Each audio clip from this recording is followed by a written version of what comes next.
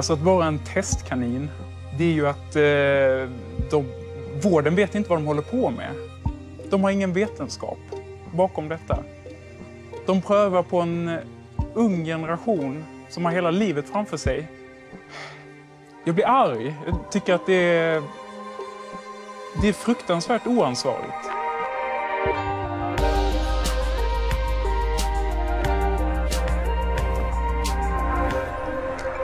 Det här är hårda ord och rösten av en person som önskar att vården inte hade gått henne till mötes. Att hon aldrig hade genomgått behandling inom svensk sjukvård. Hon kommer få leva med konsekvensen av det för resten av sitt liv. Det här handlar om flickor som är unga och som fått hjälp. Kanske för att vården ville väl och för att man trodde att man gjorde rätt. Att inte känna sig hemma i sin egen kropp innebär ett enormt lidande. Och många känner sig utsatta och diskriminerade. Kvällens reportage tar upp ett ämne som är känsligt och som hittills inte diskuterats öppet i Sverige.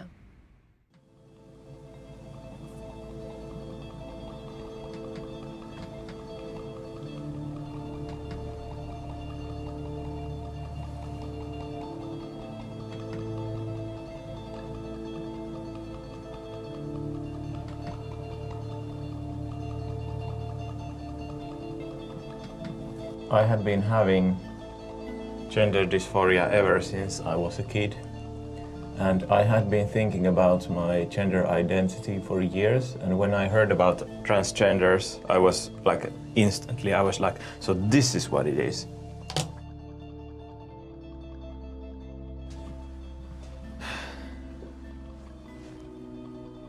I'm female. that is what, what I am.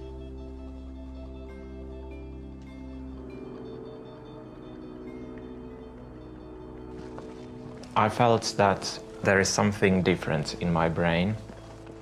It has always been present in my life.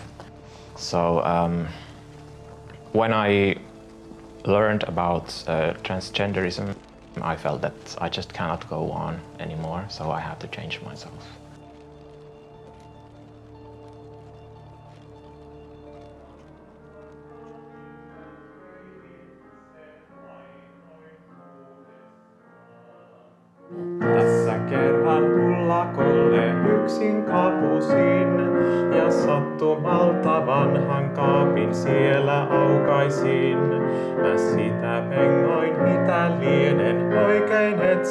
Etsinyt, niin löysin vanhan olkihatun siitä kerron nyt. It uh, went on for a very long time. Like it, it, it took months.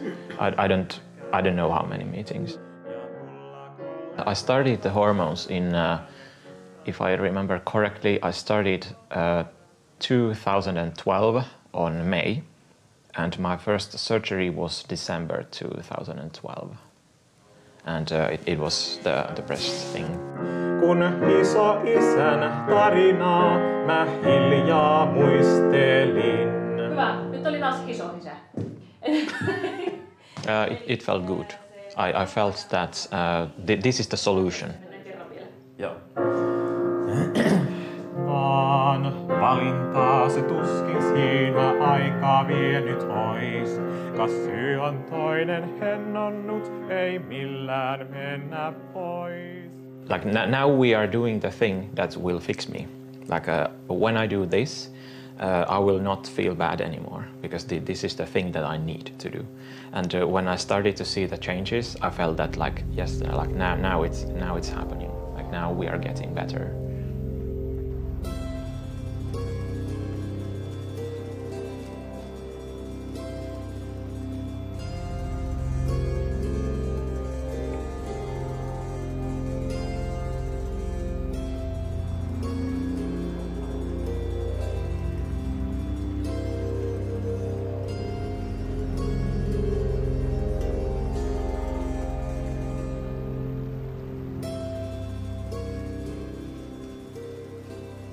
Att få vara den man vill är en självklarhet och en mänsklig rättighet.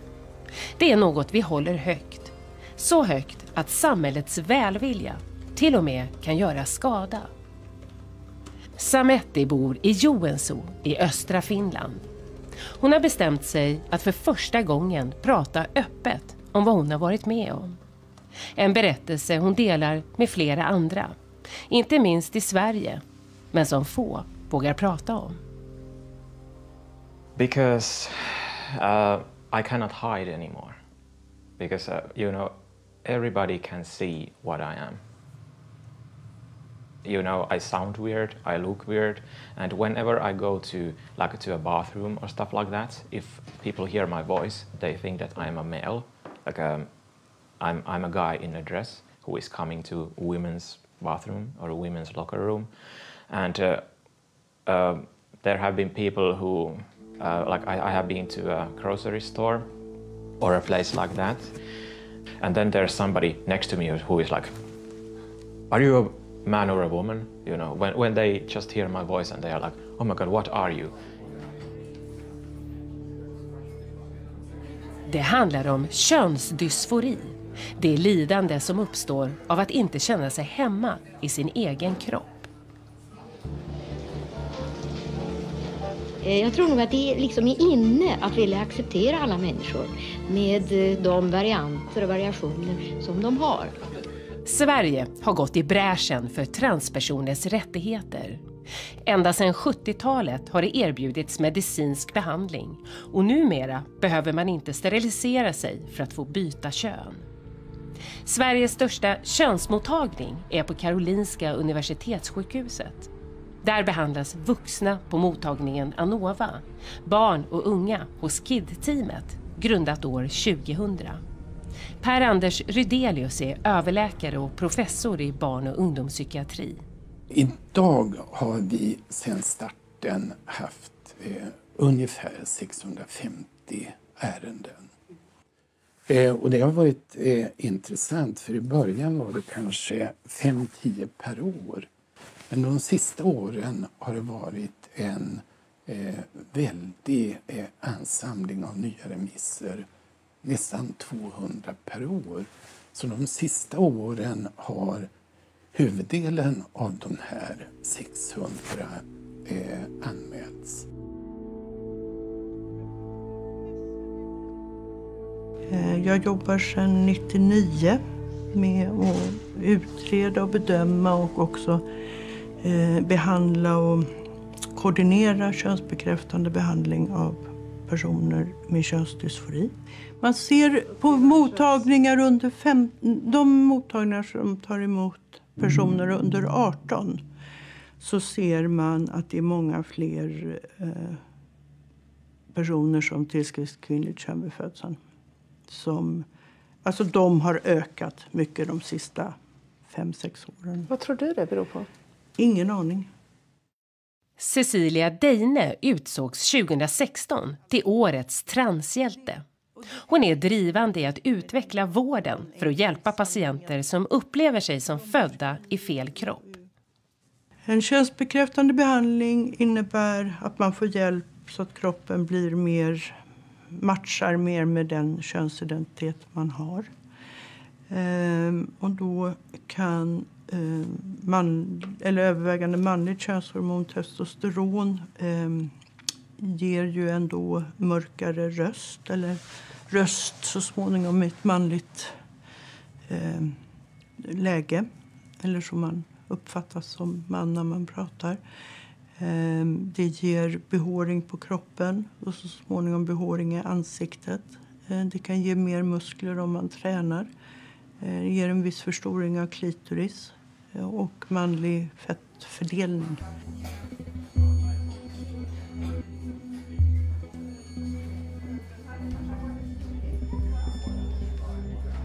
Vi vet att de som söker för könsdysfori, de har ju ett lidande.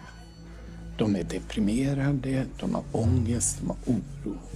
Om mitt lidande av könsdysforin är så uttalat att det hämmar mig i min dagliga funktion, ja, då, eh, om man då är överens och i vårt eh, avseende så är det det här då att ungdomen, familjen och professionen har samma uppfattning. Om vi alla har samma uppfattning, ja då bör man ge eh, eh, könsbekräftande behandling.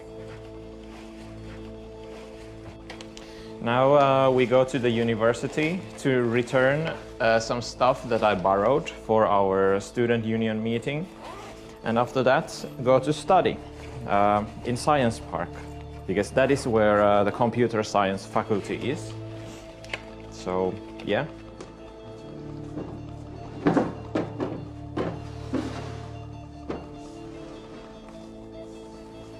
Ooh.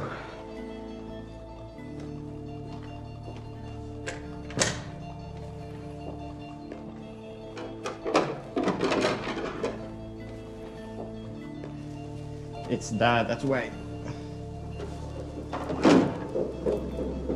I had a lot of problems uh, with my emotions. I, I had like uh, lot, lots of emotional problems. I call them emotional locks. Like I had lots and lots of lo- lots of locks.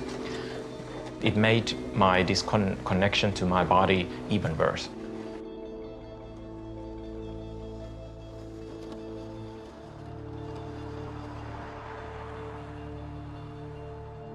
When you first started the treatment, could, can you explain how it felt for you? Good. And it, it's that is a bit scary. I think. You know, um, um, I had a pretty bad dysphoria, and um, the, the treatment uh, did take that away.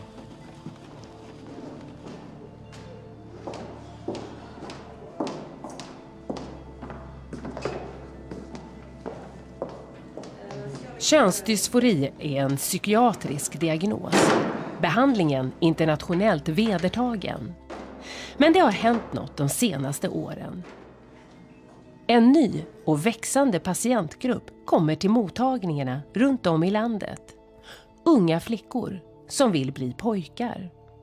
Vården och transpersoner vittnar om hur behandlingen minskar deras lidande. Men tänk om det inte gäller alla om det finns någon som egentligen behöver annan slags hjälp. Det finns föräldrar som är oroliga för just det. Flera av dem vill inte framträda öppet då barnen är minderåriga. För oss kom det som en blixt från klar himmel. Vi hade aldrig någonsin upplevt att vårt barn hade varit någonting annat än en flicka. Inte på något vis. För, för oss kom det som en stor överraskning. Eh, Vår dotter har mått dåligt i många år. Saker har varit motiga för henne i skolan och med kompisar och på, kanske i familjen och på, på många sätt eh, i livet. Och nu verkar det som att hon plötsligt själv eh, har hittat en eh, förklaring till varför det har varit så motigt. Eh, och att det är en annan könsidentitet helt enkelt så kom hon och berättade för mig att hon var trans och att hon hade valt ett pojknamn till sig. Eh, Alltså det var så mycket aggressivitet kopplat till eh, den här känslan. Så att jag liksom hade, svårt att, jag hade svårt att lita på att det var just det. Och dessutom så hade det aldrig funnits något tecken på, på det här tidigare. Och hon ville att jag skulle hjälpa henne liksom, i kontakten med vården och sådär. Och jag fick inte säga någonting först till hennes pappa och familjen. Men eh, ja, eh, och då var hon 17 och ett halvt. Och hade då remitterats till vuxenmottagningen direkt. De vittnar alla om att det kommit plötsligt och oväntat i tonåringarnas liv. Och fenomenet har fått ett internationellt namn. Rapid Onset Gender Dysphoria, ROGD, alltså en hastigt uppkommen könsdysfori. Tidigare var det få personer med diagnosen könsdysfori i Sverige. Men så händer det plötsligt något. Antalet ökar år för år. Och 2017 fick över 3 500 personer vård för könsdysfori enligt Socialstyrelsens statistik. Och man ser hur antalet unga sticker ut. Fler flickor än pojkar kommer till transvården. Samma utveckling syns också i många andra länder. There has been a dramatic increase in the number of people who say that their gender does not match their biology. This is known as gender dysphoria. And the demand has never been higher. BBC London has learned that between 2016 and 2017, there were just over 2,000 referrals to the clinic. Den som tror sig lida av könsdysfori kan själv skriva en remiss på nätet. Det kan ta månader av väntan för att få komma till en könsmottagning. Utredning tar ofta runt ett halvår. När man får diagnos börjar behandling och hormoner kan skrivas ut. Hon har ju nu fått testosteron under nästan hela det här året, tror jag. I maj så, när hon kom hit, då var hon i målbrottet. Så då hade hon väl antagligen tagit testosteron några månader. Den läkare vi träffade eh, ställde en enda fråga och det var är du säker? Och vår dotter, då 15 år, sa ja. ja då, då, då skickar vi en remiss till eh, KID och eh, grattis vad moder du är. Eh, inga uppföljningar, ingen, inga ytterligare frågor om hur, hur har du kommit fram till det här, vad står det för, hur mår du i den här, i den här situationen, utan det var bara gratulationer. Ja, det svar vi fick var att eh, vi säger inte nej till någon.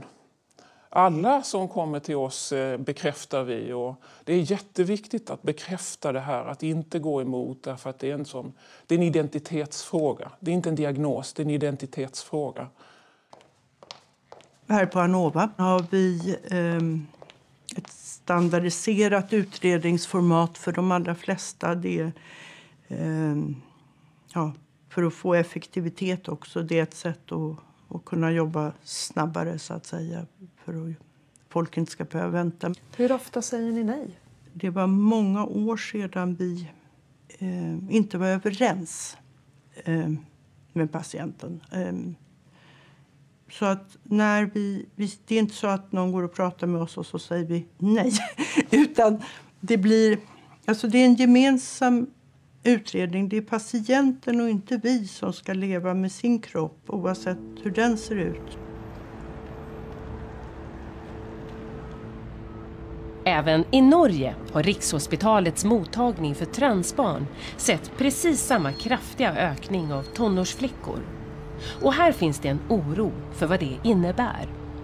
För man har också sett något annat som kännetecknar den nya gruppen. Så de siste fem årene, fra ungefär 2012, så har det varit en enorm ökning. Och det vi ser, är jo at ehm, ja, igjen at det är tonårstjejer vi har flest av. Ehm, men också så ser vi att eh, denna gruppen är de, är de som är eh, biologiskt födda tjejer och är biologiskt födda killar. Och då ser man att i, i tonårsgruppen av de biologiskt födda tjejerna så är det over halvparten, opp mot 60% som har kompleks eh, psykisk uhelse. Altså da har de enten med seg svåre traumer med PTSD, posttraumatisk stressyndrom, de har autismespekterlidelse, de har svært alvorlig depresjon, eh, um, psykotiska symptomer. Ann Wäre och hennes team behandlar just nu cirka 350 barn och ungdomar från hela Norge. Den norska motsvarigheten till Karolinskas kidmottagning. Hon stack ut hakan och skapade en storm när hon i en debattartikel riktad till hälsoministern uttryckte sin oro för vem som ska ta ansvar för nationens skäggiga flickor. Ja, när man väl har kommit hit så är, man på tranståget som vi kan till säga. Ja. För om du startar upp med testosteron så blir du patient för resten av livet ditt. Du må komme til sykehuset, du må følge opp med blodprøver. Eh, det er jo en veldig alvorlig behandling. Og det samme med en mørkere røst. Den er der, og den blir der. Og Da er det jo viktig å samtale med dem og si at eh, hvordan vil det være for deg om du om to år finner ut at dette ikke var rett allikevel. Du opplever ändå at du er en tjej eller en kvinne. Hur vil det være for deg å leve da med en mørk stemme og hårvekst i ansiktet? Så forsøker man da med mange av disse tenårene er jo ikke der at de klarer å reflektere rundt dette. Hennes debattartikel ifrågasattes och hon anklagades för att vara transfobisk. Men hon fick också stöd från oväntat håll. Greie. Så hvis jeg skal lage kaffen jeg liker, så er det jo denne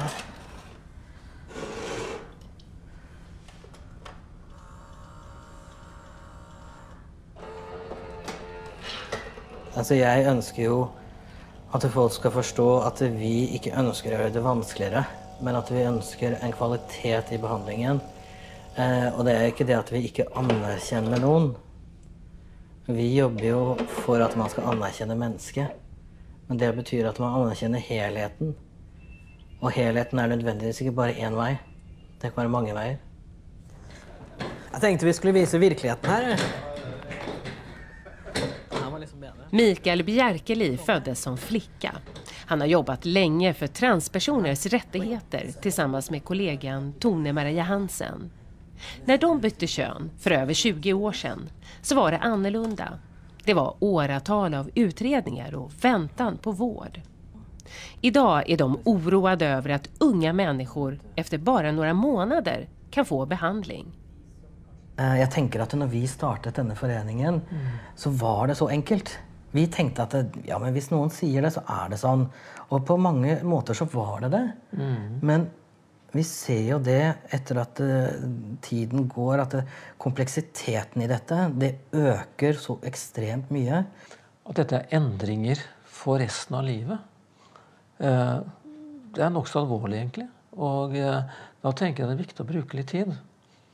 Og det er det som, som i hvert fall jeg føler er veldig bekymringsfullt. At det er så mange aktører som presser på for at eh, man skal få eh, sånn som testosteron veldig raskt, fjerne brystene veldig raskt. Og det syns jeg er utrolig skremmende, hvis man tenker på hvor potent disse medisinske behandlingene faktisk er. Hvor mye, mye det kan gjøre hvis det er feil. Hvis det er feil, så er det veldig mye å gå tilbake på.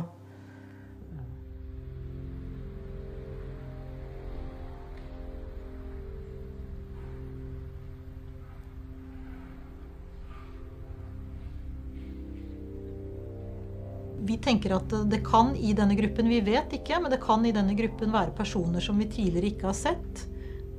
och Og som vi er usikre da på om har nytte rett og slett av behandlingen. Men man vet ikke på sikt hur de vil må heller. Man har ikke forskning på hur det går. Men man gjør det, og man håper og tror at det vil eh, dem. Da, at det vil være bra for dem. Man hoppas och tror att det kommer gå bra, säger hon. Inom sjukvården jobbar man ju vanligtvis efter vetenskap och beprövad erfarenhet. I debattartikeln beskriver hon det själv som experimentell behandling. Jag tänker det experimentella i det är att eh, i den kurvan här, som det också har i Sverige, så finns det personer som vi i dag osäkra på har gått av behandlingen på sikt. Den är inte experimentell i ordets egentliga eh, bemärkelse. Den följer en eh, utredningsmodell som har prövats. Självklart kan utredningsmodellen behöva modifieras på olika sätt. Men huvuddelen av de som utreds och behandlas, de blir ju ändå nöjda. I Sverige har man också sett att över hälften av tonåringarna har andra psykiatriska diagnoser. Att de lider av självskadebeteende, autism och anorexia. Och flera berättar om andra trauman, som övergrepp. Är samma utredningsmodell och behandling som använts tidigare rätt att också använda på den nya gruppen? Jag frågar igen, vad, vad är det som ska bli bättre och på vilket sätt kommer det här att hjälpa ditt dåliga mående? Och hon kan inte, hon kan inte liksom uttrycka det. Vi har sett att hon bara har mått sämre eh, efter att ha påbörjat den här resan, den här förändringen. Ehm, så vi är ju jätteoroliga för att hon kommer att fortsätta må ännu sämre när man, man driver den utvecklingen vidare. Det är förstås en jättestark oro som vi har.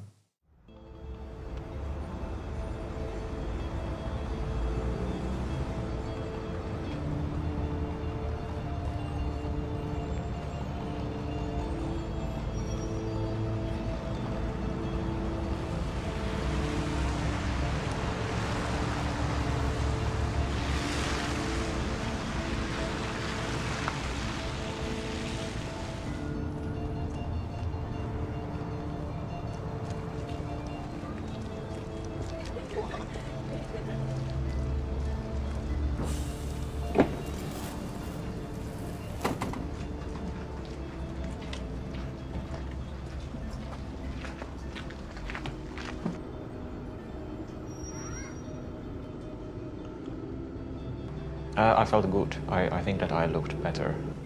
I liked my new figure. When I look at, at the old photos of myself before I started the treatment, I look a lot different from the face. Like, you know, when I, I had forgotten what I looked like. And then I looked at the photos and I was like, oh my God. And I actually have, the, have some photos I can show you. Yes, yes. I would love to see the photos. Yeah, now? Yeah, can you see? Mm-hmm. So, here. Yeah.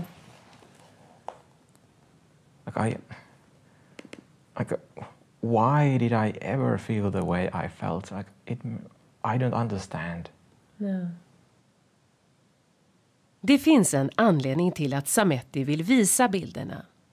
För hennes könsbyte blev inte det hon hade hoppats på. När en ung person ska börja resan mot könskorrigering ges medicin som stoppar puberteten, ett stopphormon. Det är starka läkemedel och som nu ökar i åldrarna 15 till 19 år. Läkare säger att kroppen återgår till en normal utveckling efter avslutad medicinering. Men ingen vet vad som sker på lång sikt. Ett forskarteam som följt en patient ser sjunkande IQ-nivå. Annan forskning visar på risker för benskörhet och att medicinen kan påverka hjärna och hjärta. Läkemedelsverket godkänner och kontrollerar läkemedel. Men det är sjukvårdens ansvar vem som får medicinen.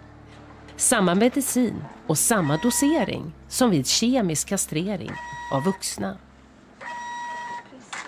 Fysiologiskt så förväntar man sig vissa av de här sakerna. Som, som vi, vi, vi, vi vet ju om att kastrerar vi så får vi en hjärtpåverkan och vi vet att det finns en risk för skelettet när vi kastrerar också. Så att det, det, och att det blir en mental påverkan det, det, det, det är också någonting som vi, vi ser när vi kastrerar i, i, i män eller, eller kvinnor som, som inom de behandlingar som finns. Va? Mm. och det är samma läkemedel? Och det är samma läkemedel, samma verkningsmekanism. Så att, att vi skulle förvänta oss att se det eh, hos, hos eh, flickor då, det, det, det, det, förväntar jag mig att, att det ska ske. Mm. Men det här är kroppar som är fullt friska. Mm. Alltså det är tonårskroppar som håller på och växer som mm. är fullt friska fysiskt mm. men eh, där man då liksom förskriver sådana här starka läkemedel.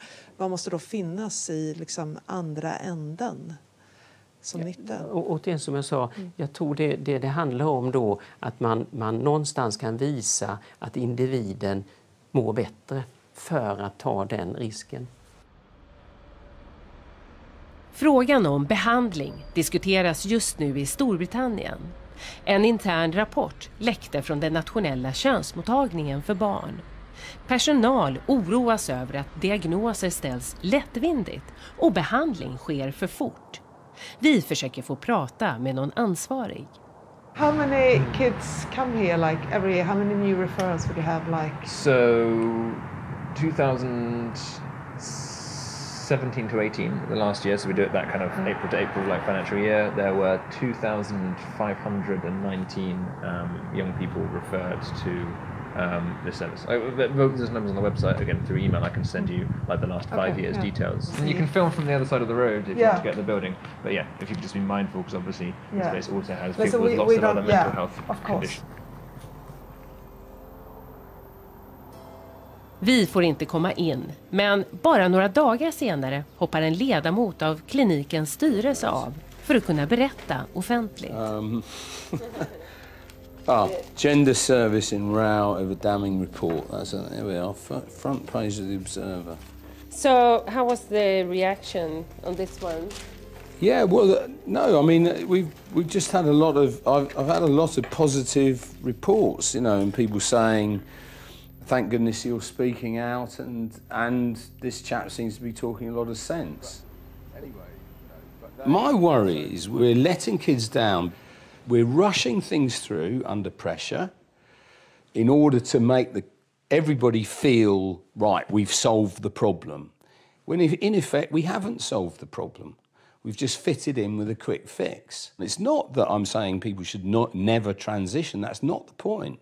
It's just slow things down and think things through with them over time and in depth. Was saying there's no long term research studies.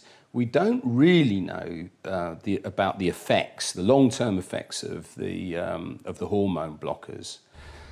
What's going on? We just don't know. But we're acting as if we do. Tavistock skriver till oss att de jobbar efter nationella riktlinjer och att barnens hälsa är deras högsta prioritet.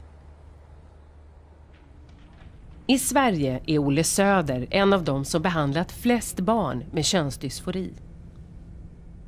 Får ju vägas mot den, att de här patienterna har, alltså de har ett stort lidande och inte, om de inte får behandling. Så man måste ju väga de här sakerna mot varandra. Det är klart att jag vet vad som händer om, om vi tittar på hormoneffekter. Men om vi på lång sikt ser hur det går för de här patienterna, det har vi inte kunnat göra någon uppföljning av eftersom det här är en så pass ny grupp. Är det ändå liksom rimligt att man behandlar i den här utsträckningen som man gör idag? Ja, man kan ju säga så här att de här personerna, återigen, de har ett stort lidande. De söker ju själva hjälp. Men Marcus Evans, som är en erfaren psykoanalytiker, tycker inte att man bara ska bekräfta en tonåring som söker hjälp för könsdysfori. I wouldn't get myself into an argument. I'd say, okay, that's what you that's that's that's what you believe. And I understand that's very important that I understand how you want to be seen.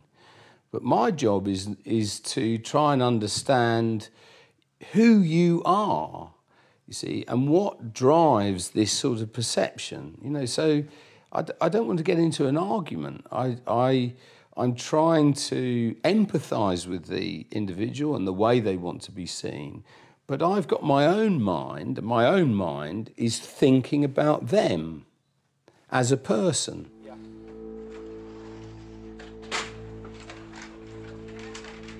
Rekommendationen i Sverige är att ge stopphormon i högst tre år. Nästa steg är testosteron. Medicinering som måste fortgå hela livet och de fysiska förändringarna är för alltid. Även här finns risk för biverkningar, hjärt och kärlsjukdomar och vissa cancersorter. Testosteron har tagits fram för män, men i flera län skrivs det idag ut till fler flickor än pojkar, mellan 15 och 19 år. Den här nivån har man aldrig förutsett. Eh, vad tänker du kring det? Gör man en, en, stor kursändring så måste man ju ha någon form av evidens eh, som, som underlag för det. Och det är ju då i det här fallet sjukvården som, som har tagit ställning och då blir det ju sjukvården någonstans som, som behöver besvara vad är underlaget för deras tankar och eh, skifte i, i, i behandlings, eh, behandlingen av det.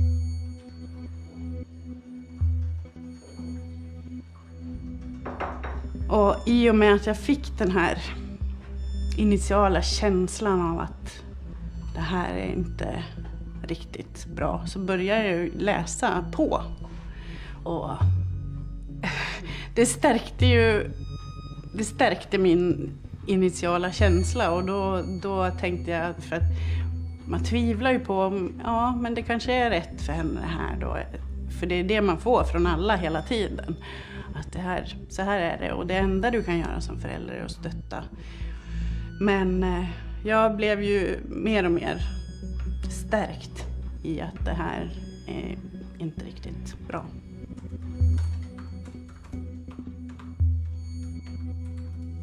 Vi upplever inte att vården erbjuder någonting annat än ett erbjudande om hormonbehandling och, och planering för kirurgi. Att eh, operera om vårt barn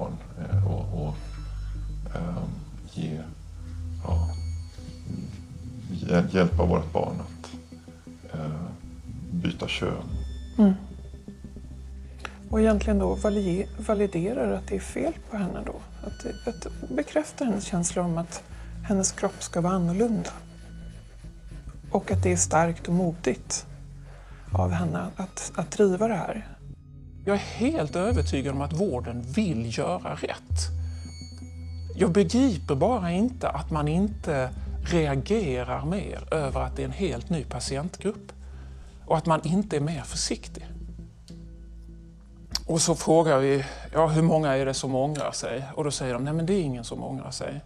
Min största oro är ju att det här, är, att det här kommer från påverkan utifrån och eh, att det här inte är grundat i henne och att hon kommer så småningom upptäcka det. Karin jobbar med läkemedel som toxikolog och är orolig för att hennes barn ska ångra sig. På besök hos en könsmottagning frågar hon om risken och spelar in samtalet. Och tittar man på ånger så, som man säger, så är det ju häpnadsväckande siffror skulle jag säga. Jag tror inte ens en blindtarmsoperation har sådana siffror. 0,2 procent. Det är jättelågt alltså. Det kan man visst. Det finns människor som, det finns människor som får livslånga komplikationer av en kirurgi. Karins barn säger till oss att den könskorrigerande behandlingen är välgrundad och rätt. Hur många ångrar sitt könsbyte? En svensk studie visar att från 70-talet fram till år 2010 bara 15 personer, 2,2 procent. Men hur många som ångrar sig i den här nya gruppen vet ingen. Det är jätteviktigt att bekräfta och det är klart att du ska få könshormoner och det är klart att du ska få kirurgi.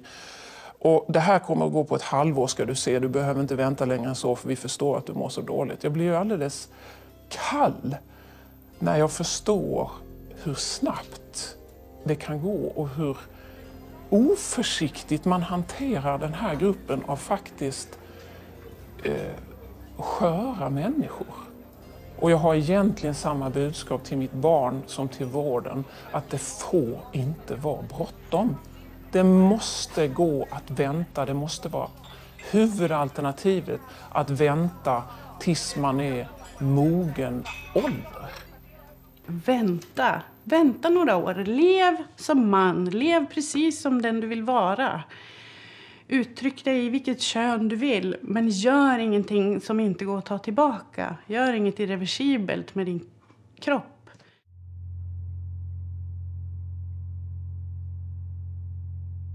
Det jag fick veta av vården var att det är i princip ingen som ångrar sig. Alltså att någon som jag, som född biologisk tjej eh, och sen gjort hela transitionen eh, och sen skulle ha gått tillbaka. Det hade jag aldrig, aldrig hört om. Ånger, eller detransition som det kallas, är känsligt att prata om i transvärlden. Vi har haft kontakt med Mika i över ett halvår. Hon har hela tiden tvekat om hon vågar berätta. Jag är rädd för att visa mitt ansikte för att detransition är ett så fruktansvärt känsligt ämne. Och för att det här är en verklighet som vi inte vill ska vara eller finnas. Jag är...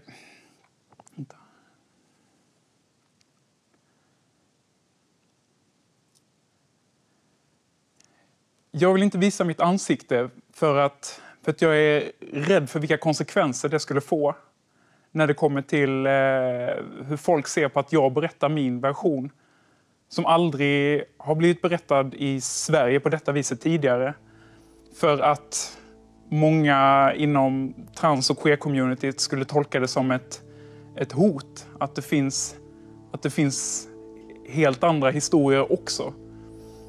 Vi vill så gärna att, att det ska vara enkelt och eh, inga konstigheter med den här behandlingen och att alla, alla mår bra efteråt. Och den bilden är vi väldigt bra på att visa utåt för att få mer acceptans och, och förståelse och sådär. Och, och det, det ser jag också en, en poäng med. Men vi måste kunna visa alla historier som finns.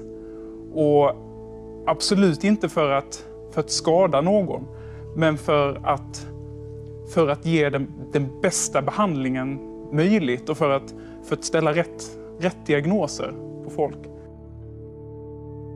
Mika fick sin diagnos 2017. Hon var helt säker på att det var rätt väg för henne. Att hon var en kille, född i fel kropp. jag såg det verkligen som att mitt, mitt största hinder i mitt liv är att min kropp inte... Eh, alltså att min, min kropp speglar inte vem jag är. Så om jag får löst den biten så, så kommer många andra saker att bli betydligt lättare. När jag fick min första dos av testosteron, det var... Alltså det är svårt att beskriva för att jag minns bara att jag var så otroligt, otroligt lycklig.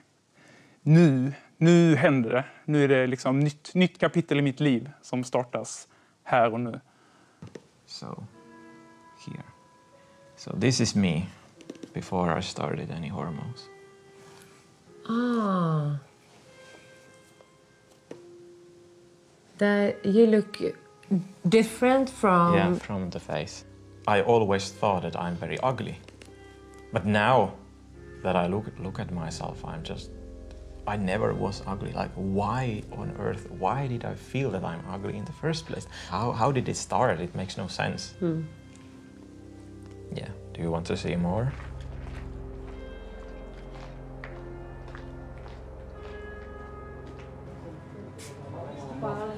Onnea vaan, paljon onnea vaan.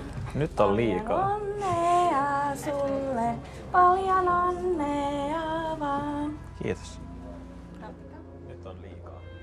I had uh, pretty bad dysphoria, and um, the, the treatment did take that away, but it didn't solve the problems in the long run. I think the first two years were very good.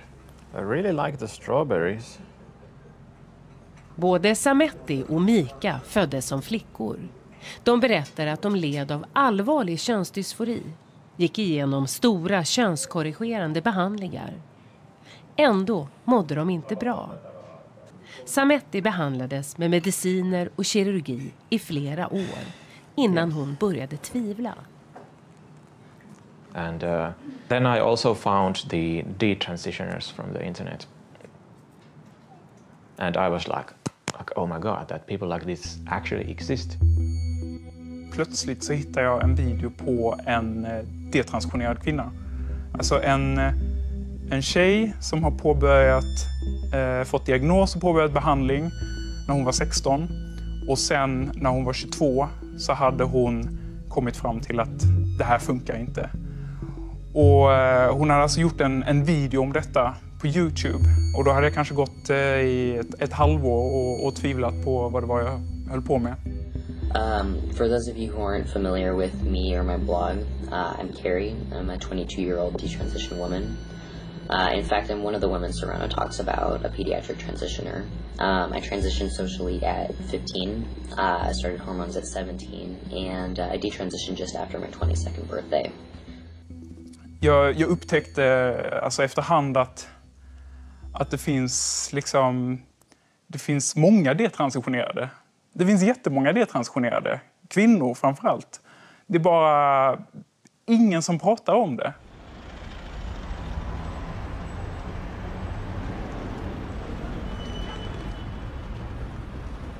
Well, today we've come for my lawyers to argue that we should be allowed a judicial review of my case. That is, of Bath Spa University's decision to prevent my research into people who detransition gender.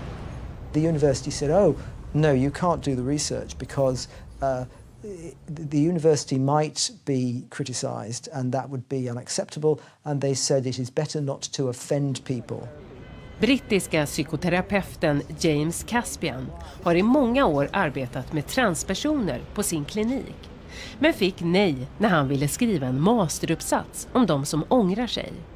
En fråga han nu driver rättsligt. Han menar att det till och med är tabu att prata om att det finns ångrare. I think that uh, it's not just considered to be a politically incorrect research topic, it's considered to be uh, a politically incorrect topic to discuss.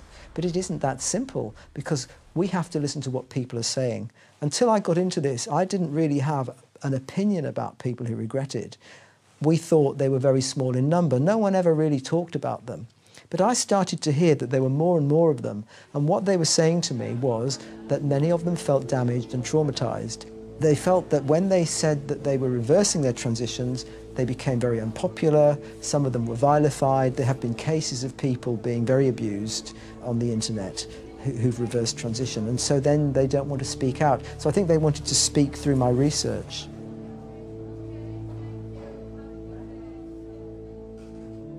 Det är så fruktansvärt tabu och det är så, jag tror att man ser på det som ett så, så, ett så läskigt hot eh, mot liksom det klassiska transnarrativet. Och jag vill verkligen få fram liksom allvaret i att vara detransitionerad. Och, eh, att leva detransitionerad är ingen... Det är ingenting du vill. Det är ingen rolig verklighet. Mika har fått kontakt med ett tiotal andra svenska ångrare bara det senaste året. Risken för att unga människor felaktigt får en diagnos och en oåterkallelig behandling har knappt diskuterats i Sverige. Men Lundströmmottagningen i Västra Götaland märkte för ett par år sedan att patienter kom tillbaka. Idag har man traumabehandling för de som ångrar könsbytet. Den gruppen av patienter som ångrar sig, de står inte på barrikaderna. Det kan vi nog säga. De, de, de har ett lidande och de är inte stolta över det här. Utan det, det, det är kris. Det är kris på högsta nivå. Ehm, så de gör ju inget väsen av frågan utan riktar nog väldigt mycket av skulden till sig själva. Att man har hamnat där man har hamnat och riktar inte skulden till vården.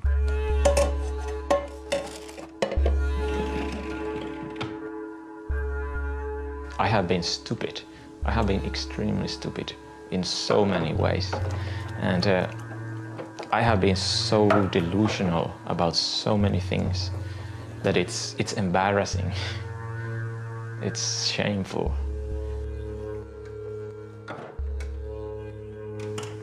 I think it, it's a very terrible thing in, in many ways to realize that you have been wrong. You have been very delusional and that you have done something irreversible to yourself.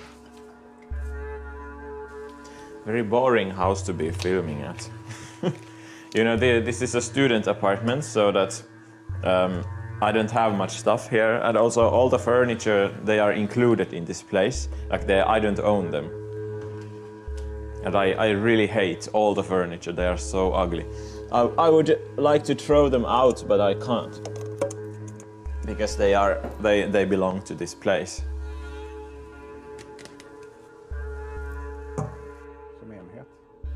Lundströmmottagningen såg ju att patienter kom tillbaka. Och det har påverkat personalen som fattar de avgörande besluten om diagnos och behandling. Det är väldigt mycket man inte vet. Ja, men det är det som skapar den, den här, som vi kallar etisk stress. Att, att inte ha fullgod evidens för, för det vi gör. Personalen upplever etisk stress. Men behandlingarna fortsätter, hormoner och kirurgiska ingrepp. På flickor opereras brösten bort och operationerna har ökat i antal. Vi begär ut ålder på de som opereras. Enligt sjukhusen är de yngsta 16 år, men då bara om föräldrarna tillåter. Alla sjukhus lämnar ut uppgifter om antalet operationer per åldersgrupp, utom Karolinska. Kanske är det känsligt, för ingen annanstans i Sverige opererar man personer som är så unga som 14 år.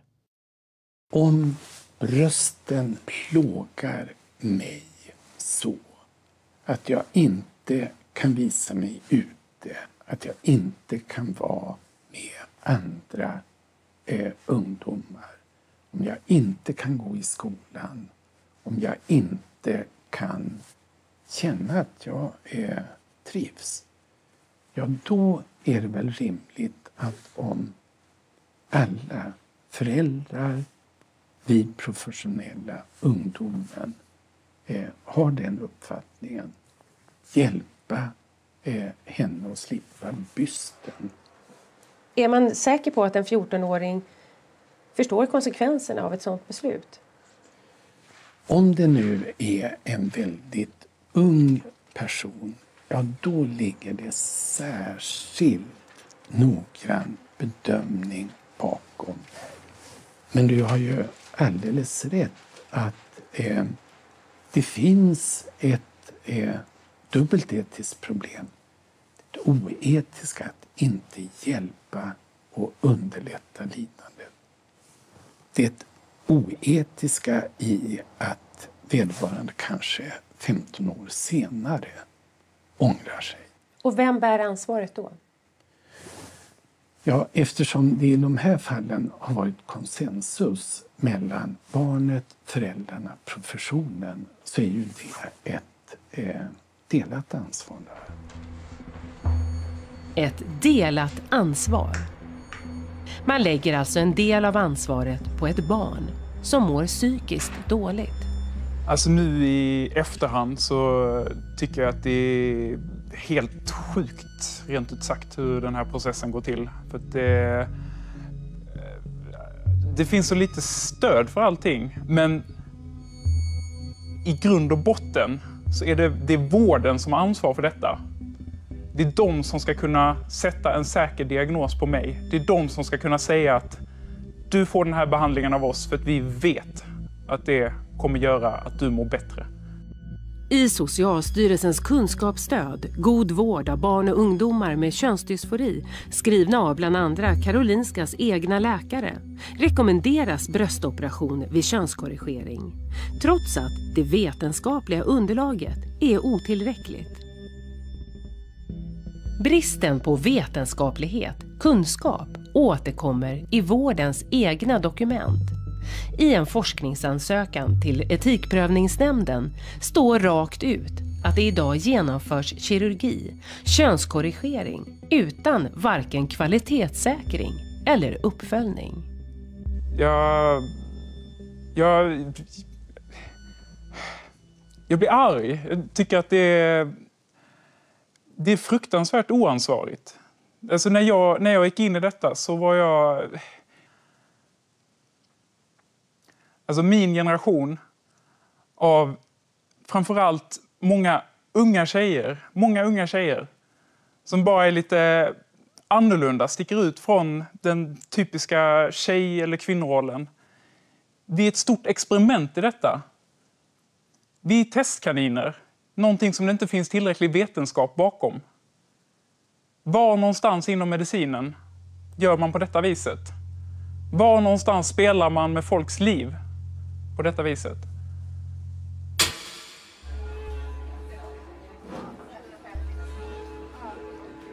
Man kan inte byta hjärna på någon. Det, sitter ju i hjärnan om man har en uppfattning som inte stämmer med kroppen. Då försöker man ju ändra kroppen. Det är ingen optimal behandling. Det här bygger ju på att de här individerna driver det så hårt och tycker det här är otroligt. Det är deras viktigaste sak i livet att få det här gjort. Då är frågan, ska vi inte hjälpa de här patienterna?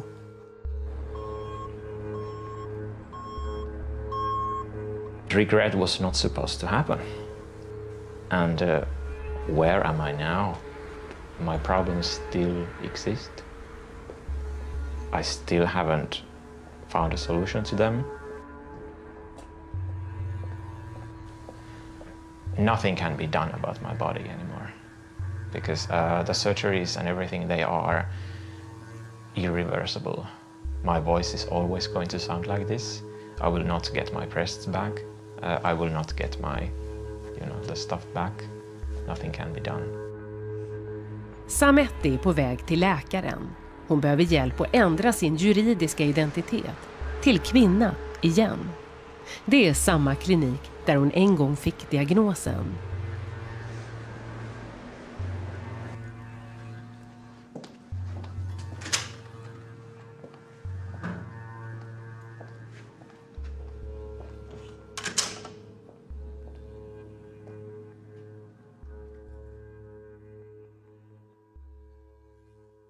Transvården är mer än bara vård. Det är politik. I Sverige bereder regeringen just nu ett lagförslag om att göra det snabbare och enklare att byta juridiskt kön, alltså personnummer. Att sänka åldersgränsen till 12 år och att 15-åringar ska få operera underlivet utan föräldrars medgivande. Vi hade nog förväntat oss att vuxna läkare, psykologer, kuratorer skulle kunna säga till en 15-årig person att vi tror att ditt problem handlar om helt andra saker. Att om, om de kommer fram till att så är fallet. Att de skulle kunna säga att vi tror inte att du kommer må bättre av hormonbehandling eller en könskorrigering utan vi tror att du behöver det här istället. Eh, nu är bilden att det finns ingen vuxen som vill säga det här till vårt barn. Det här är ett problem, men jag delar inte uppfattningen att vi eh, skulle skynda på eller eh, bortse ifrån de här eh, etiska eh, konsekvenserna. Och är lidandet så uttalat att behandling ur etisk synpunkt måste ske, då gör vi det. Självklart är transvården viktig. För många säkert rätt väg. Men för de andra, vem tar ansvar? De flesta vågar varken prata om det eller återvända till sina kliniker. Sametti vågade.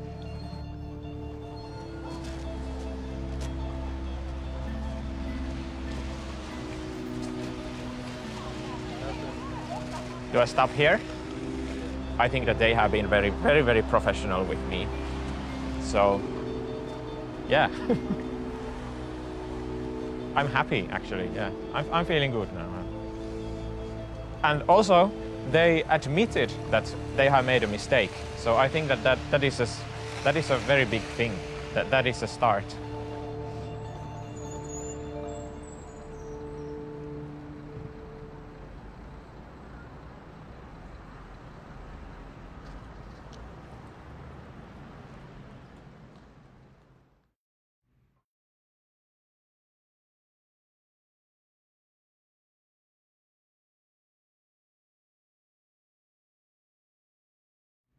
Ni är säkert många som har tankar om och vill diskutera kvällens reportage.